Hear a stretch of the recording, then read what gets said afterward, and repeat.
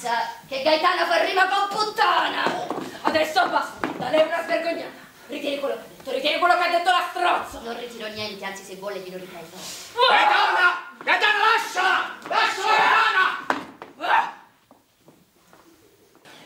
Walter Malosti firma la regia dei Segreti di Milano tratto, eh, tratto da due testi teatrali eh, di Giovanni Testori.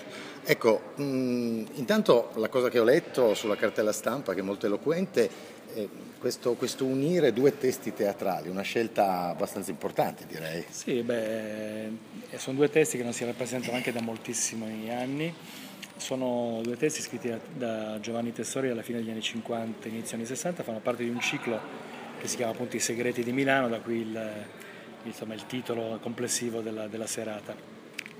Eh, è un ciclo che si compone di cinque volumi, i primi due sono Il Ponte della Ghisolfa e La Gilda del McMahon, da mm. cui eh, Luchino Visconti ha tratto ampio materiale per Rocco e i suoi fratelli, anche molto di più di quello che poi appaia all'interno dei crediti. E da quel mondo lì, quindi che agli spettatori è subito familiare, eh, di, di, quel mondo fa parte anche insomma, la, la, produzione teatrale di quegli anni e di questo doppio diciamo, eh, eh, esito. Prima, la prima è la Maria Brasca che viene rappresentata al piccolo con Franca Valeri protagonista.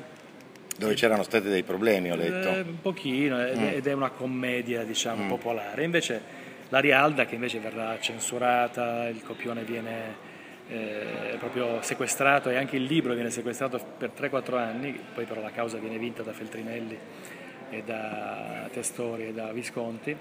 Eh, quello invece fu un grande scandalo perché insomma sono dei temi molto hard per l'epoca, l'omosessualità, degli amori un po' difficili diciamo, il desiderio visto anche in chiave così è piuttosto esplicita, anche se appunto non, è, non c'è niente diciamo, di, di, di, cui preoccuparsi, ma, è, ma, proprio lo scavo dei personaggi è così eh, ampio, così diciamo, Testori usa una specie di bisturi, no? mm. in questo per chi lo conosce insomma, eh, in qualche modo ci fa ricordare il primo Fassbinder sì, infatti, leggevo, ma e quindi è un, voglio dire, beh, c'è, c'è, un discorso legato al perbenismo forse dell'epoca, no? siamo negli anni 60, e con questo, con questo testo, questo, con questo teatro è un po' un ritornare indietro al neorealismo sostanzialmente. Se...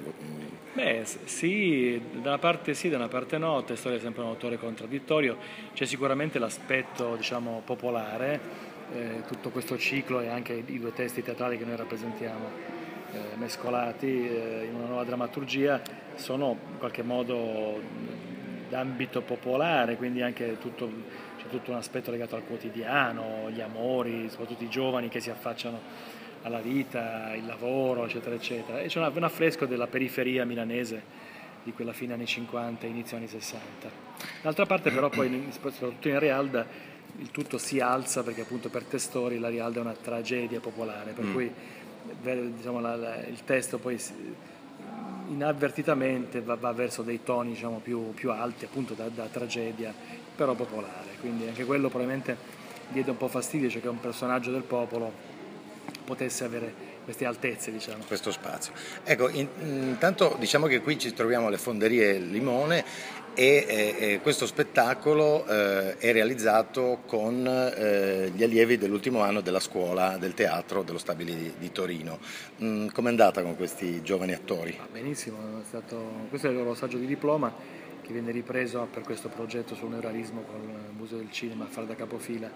E sono, insomma, questa classe è piena di talenti, quindi insomma, penso che molti di loro continueranno a lavorare in futuro, che non è una cosa così eh, scontata, hanno molta energia, molta voglia di fare, sono generosi, quindi auguro loro tutto il meglio possibile. Molto bene, molto bene.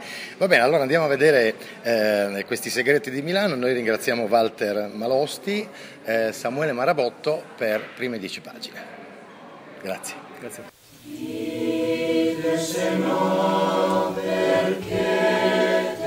In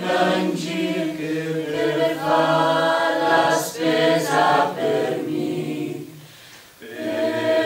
che per misura arriva giù in piazza del Don che vorrem du tram, mami quando i butul, torna de bottega, scundi la cartella, con dente rimestras,